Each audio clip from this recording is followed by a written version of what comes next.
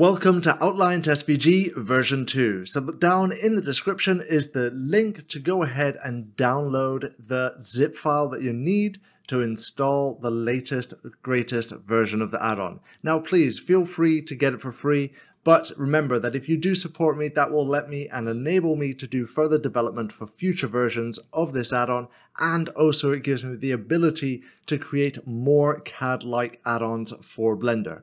So to install it, we're going to go over to Edit, then we'll go to Preferences, we'll go to the add-on and look up Outline to SVG first because you need to remove the old version before you install the new one because I find that Blender doesn't play so nicely when you don't go ahead and remove it before you install it.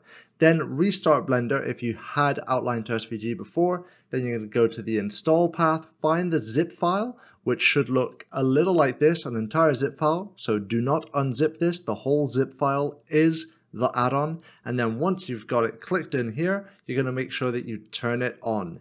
Now, once it's turned on, you are going to see on your tools panel here, we can click that arrow or click N, and then you will have outline to SVG. What you're going to do is basically select what it is you're wanting to export, and then you're going to put in the file path. You can hit the folder to find the file path or type it in manually. I've got it here going to my new outline to SVG, and I've named it output. From there, you're going to see that if I go ahead and hit export SVG right now, I'll get a little warning message because only orthographic views are supported. So I can hit my numpad 5 or I can go to view, perspective orthographic. Then I'm going to select everything once again and I'm going to go ahead and hit export. Now already that is the export done. So let's open up in Illustrator and see what we get. And here we are in Illustrator. And don't worry, this is completely supported by Inkscape as well. Just right this minute, I'm going to show you it in Illustrator first. So things to keep in mind. Right this minute, we have some metaballs here, some text there, a NURB surface there, a full mesh there, a 2D mesh here. This is two separate objects, and as you see, they come out as separate objects even though they're intersecting.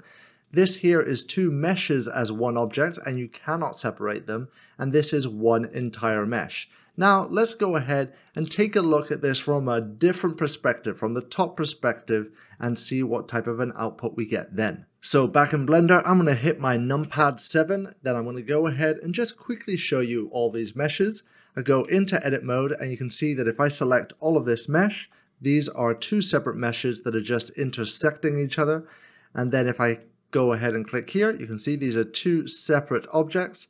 And then if I click on this one here, I cannot select the mesh of just one of them because they are all one mesh. Right, with that there done, let's go ahead and also show you this here is an active text element. So you can see I can edit it. And well, metaballs are metaballs. You can go ahead and play about with them as much as you want. And yeah, that there is pretty much it. There's the NURB surface. So let's go ahead.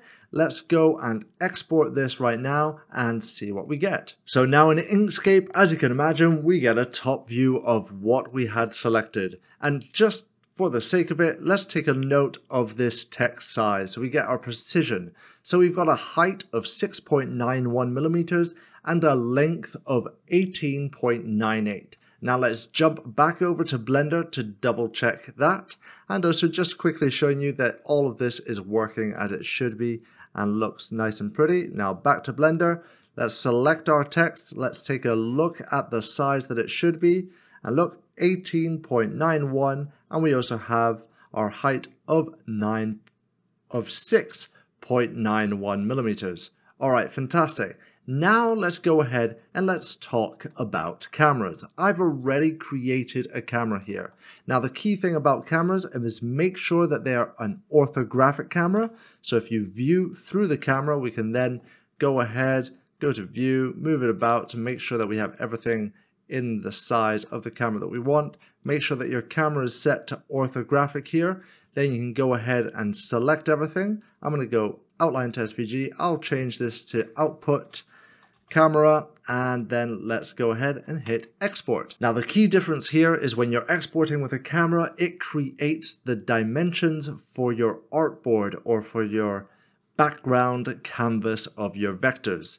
Now, of course, all the rest is exactly the same as every other export, And because this is a camera, we can move around our view and come back to it. So let's go and do that. So here, back in Blender, let's go ahead, make sure our camera is snapped to our view. Let's move this to this direction here.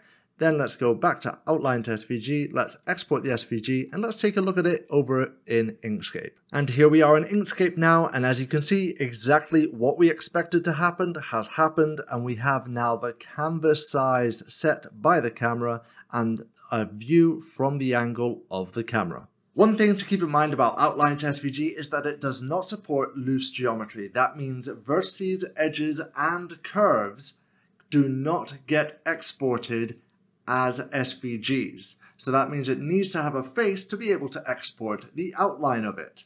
A huge thank you to my patrons. You guys are awesome and it's the reason why I've been able to carry on the development with Outline to SVG to turn this into a powerful tool for everyone. And if you're enjoying what I'm creating here and you think I am worthy of your support, I would love to see you there too. Thanks for watching, keep making, and let the quest continue.